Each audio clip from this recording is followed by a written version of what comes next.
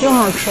嗯，师傅，我跟你学。提取表面的淀粉，加入一勺盐，全部煮至透明状，捞出过凉水，控水备炸，中小火慢炸，撒上适量的麻辣鲜，饭晚上就可以开吃了。来一口啊，真的很好吃。